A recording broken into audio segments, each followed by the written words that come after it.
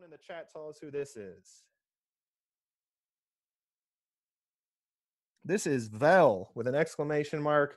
Vel Phillips was had a career of first. She was the first black woman to graduate from UW Madison's law school, the first black and first female common council person in Milwaukee's common council. She went on to have a trailblazing career as a judge, and until Mandela Barnes was elected in 2018, she was the only black person elected to statewide office as the Secretary of State in the state of Wisconsin. So Vel, this remarkable human being, this is her at work. She took up the cause of open housing because she saw amongst her constituents people wanting to build general generational wealth. And this is her trying to pass a bill for open housing and fair housing. Tell me a little bit. What is it? What's what do you read on Vel's face? What kind of emotional state do you think she's in?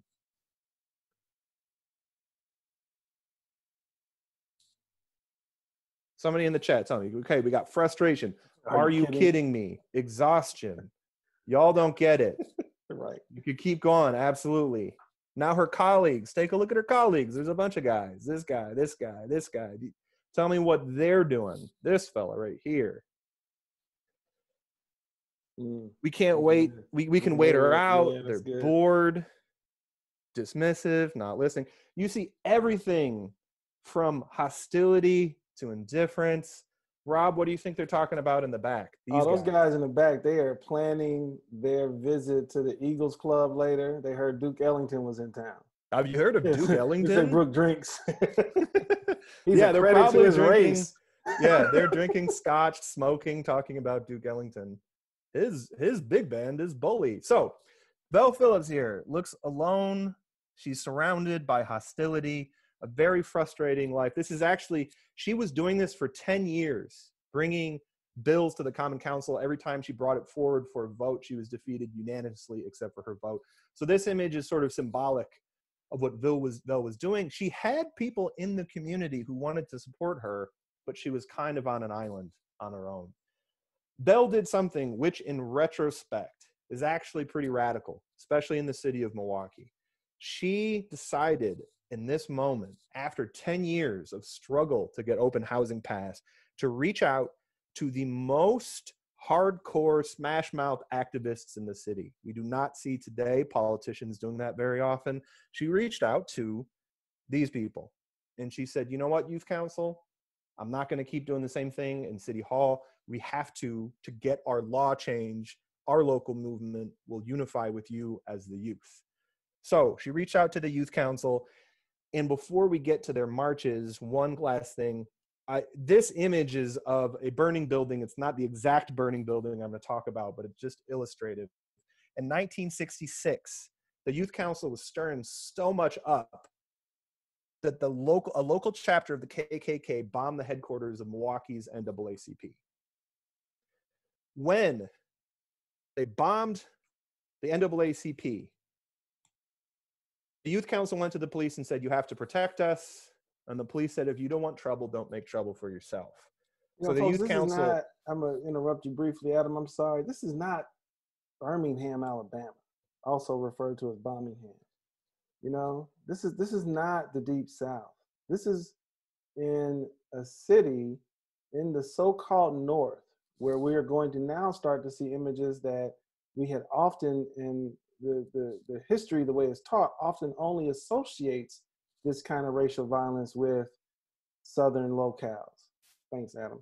And I just want to point out to Renee's point that she just made. Renee, um, this, so your cousin Wayne is holding the flag.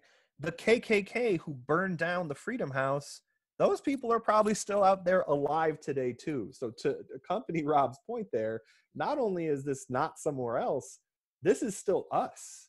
Like these these marquette students that you see right here walking into the eagles club those people are probably still out there somewhere. So the commandos were formed predominantly as a security unit.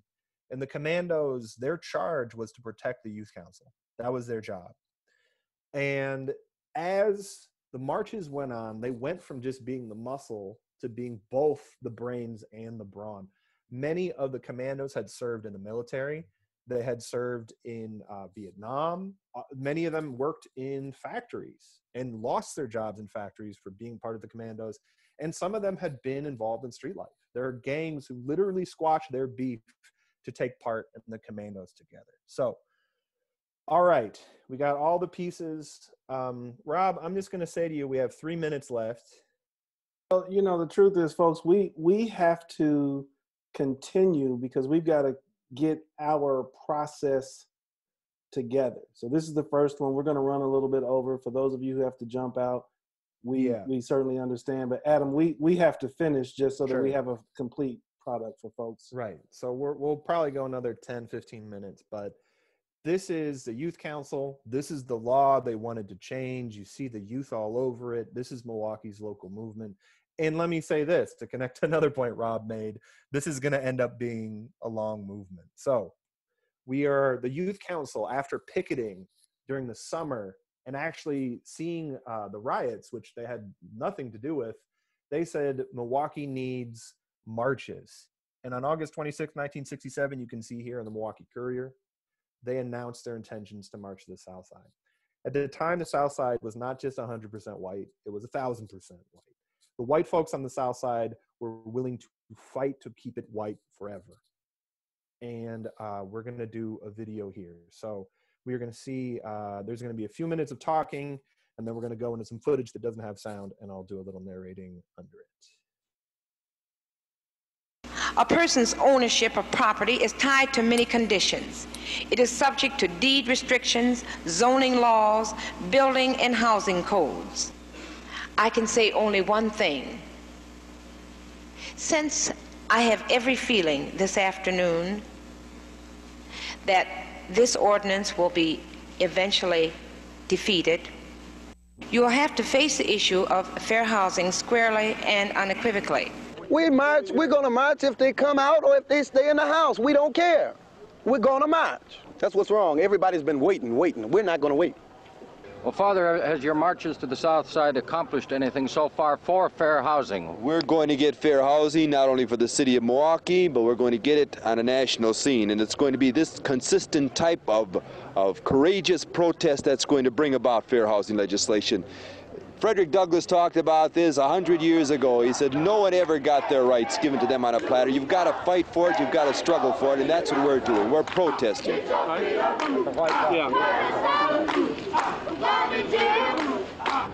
There are no longer excuses for inaction or delay.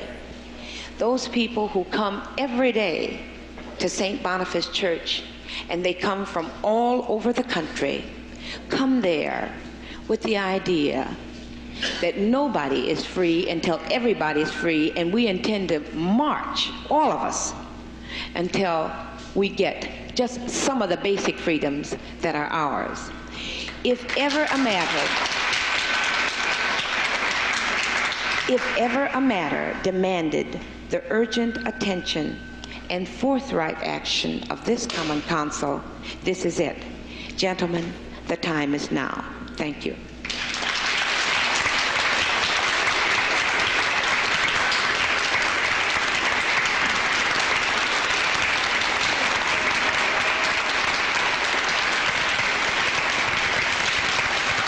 August 28th of 1967 is the first march.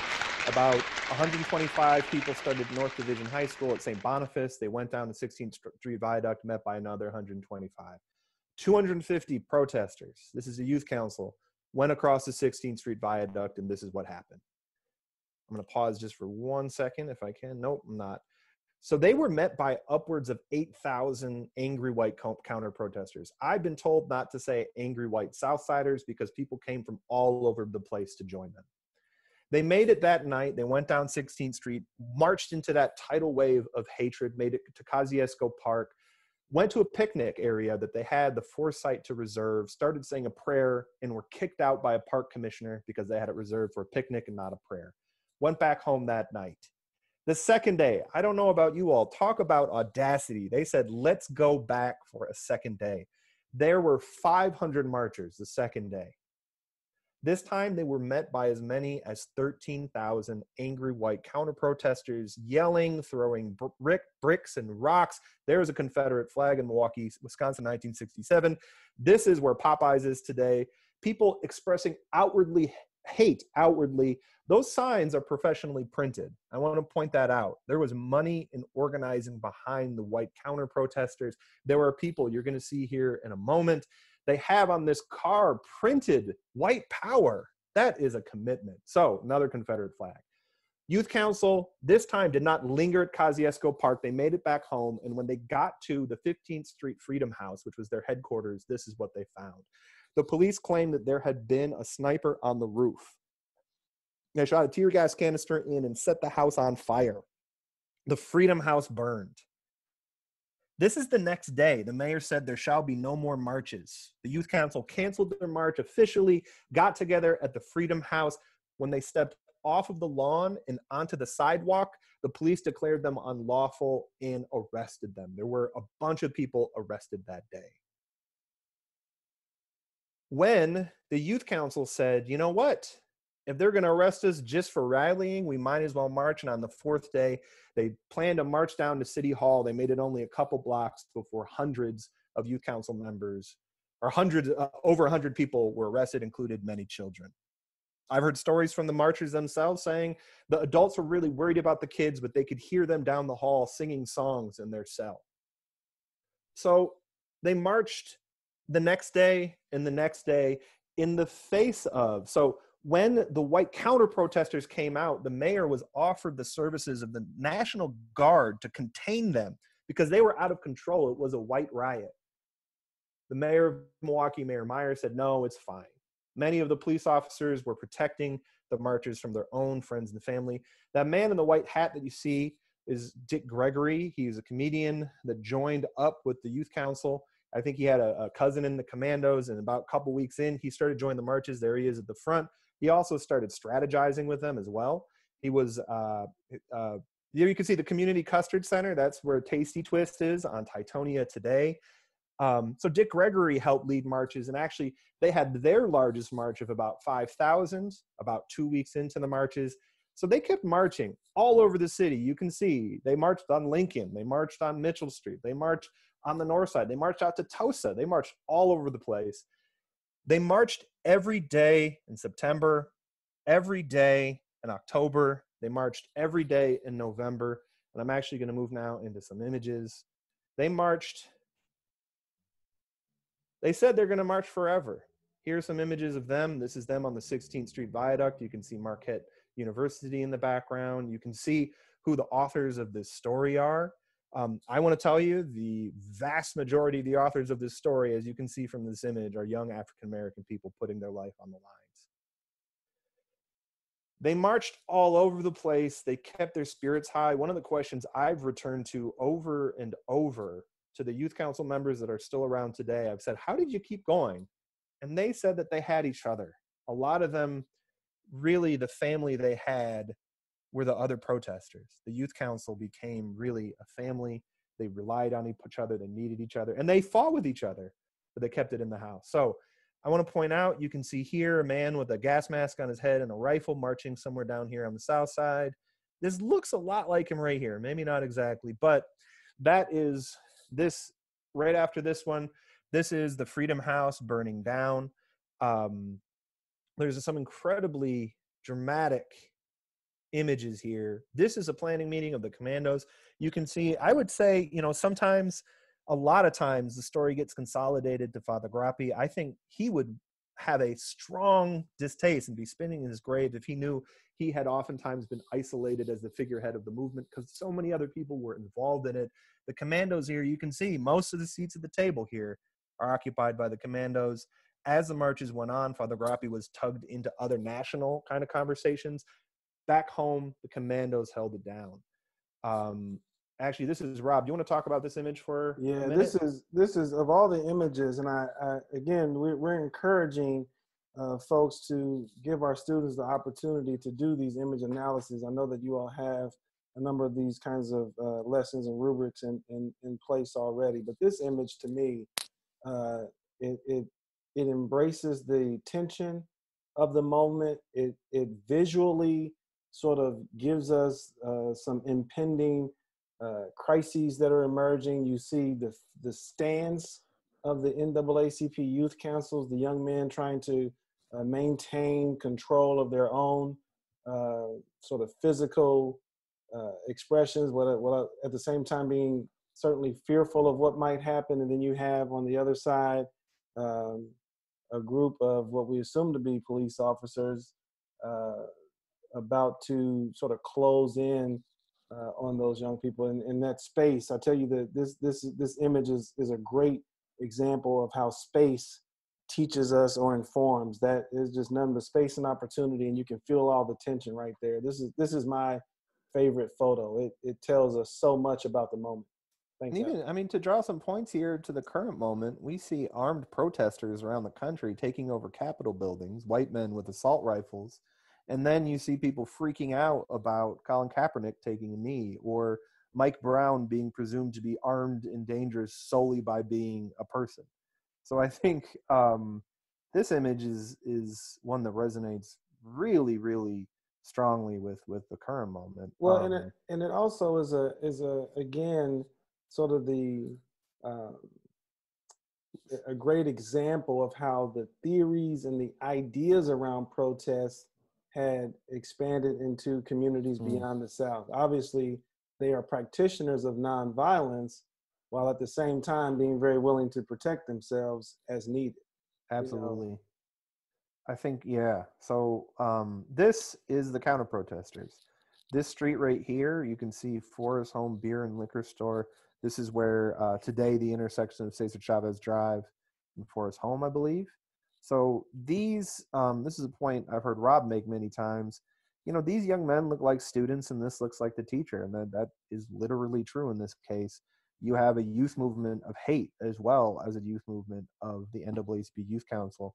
I think it's important. One of the reasons I think this story has been lost is that this is a difficult story for white people to hear because all of us want to identify with the people on the right side of this thing but these people, much like many of the youth council um, members and commandos are still around, these signs are in someone's garage somewhere. These guys are somewhere. They have children and grandchildren. And they probably don't show them these images, but they teach them these lessons. Um, this is who they're protesting against. This is this is the response to this so you have there's a lot of images out there some really beautiful ones of these movements of this movement and really a lot of these images i had not seen until the last few years. Um, really incredible images of dramatic civil rights movement in milwaukee. On the day that the packers played i actually saw in december the marchers organized a uh, boycott of businesses hostile to african americans. They called it black black christmas. They had their own black santa um, then on the day that the Packers played in the famous Ice Bowl football game, the youth council was outside marching, probably for longer than the football game, and burning a few more calories and wearing fur, looking like Joe Namath. Um, this is a um, telegram from the uh, from Mar- the Reverend Dr. Martin Luther King Jr. to Father Groppi to show his support of the marches. Overall, the Youth Council commandos, Father Groppi, Vel Phillips, they marched for 200 consecutive days. They eventually disbanded the marches because Vel's bill was making no more progress in the Common Council in the city of Milwaukee. They decided to join Martin Luther King's Poor People's Campaign. Martin Luther King was a huge admirer of what was happening in Milwaukee. And then only a couple weeks later, actually, like barely two weeks later, Martin Luther King was shot and killed. There were responses around the country, some of which were violent, some of which were nonviolent. Milwaukee, this is the response in Milwaukee. Milwaukee saw one of the largest nonviolent responses because Milwaukee had gotten really good at marching. This is one image that people might have seen before. This is another. This is about 15,000 people. Uh, from the perspective of rhetoric, but also just from the reality of it, 15,000. This was a, a showing of strength in Milwaukee that was larger than the, sh- the largest showing of hatred. There were 13,000 counter protesters on the second day. This is Milwaukee saying, here's who we are. I would uh, encourage you again to underscore the point this was an integrated movement. but the people that put their lives on the line in the movement, oftentimes you see here a lot of young African American people. Where those folks? Where is this uh, picture taken, folks? Name the location.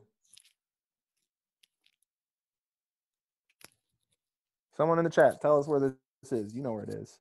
You can tell. This is Milwaukee. It's somewhere in Milwaukee, right? I'll give you that hint. like, where does this look like? It still looks That's like. Right, this. Wisconsin yes. Ave. Absolutely. So here is where the Riverside Theater is. This is where that subway is. This is um, like Planet Fitness is right here. Grand Avenue Mall right here. Yeah. So this is right downtown.